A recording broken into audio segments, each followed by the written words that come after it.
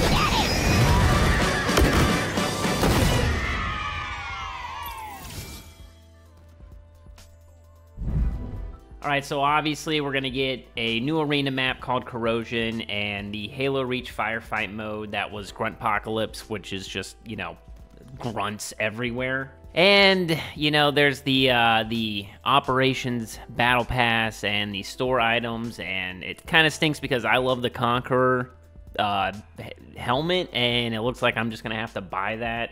Maybe I don't know. I haven't decided yet. I, I've wanted that helmet ever since it was leaked, but you know how it is. Do I really want to throw money at a game that I might not, you know, get another year or two out of? We'll see what happens, but uh, I'm loving how we get at least a new map every month because that's how long an operation normally lasts. That's good. New game modes and stuff like that I think are really important. I definitely like to see the PvE aspect being added to in Firefight. I think that that's really important for people to keep, you know, getting that type of content in the game because I think that there's a whole lot of people out there that don't just want to play PvP all the time. The new map looks cool, the corrosion map. It's a arena map, so hopefully there's a 24/7 playlist like they did with Illusion before. And I'm not gonna lie, I kind of wish that I I, I don't know because I feel like once those maps get kind of uh, their you know their release and their 24/7 thing, I literally never see them again. So that's kind of sad. So I'm definitely gonna be playing that map as much as possible, especially if it's fun.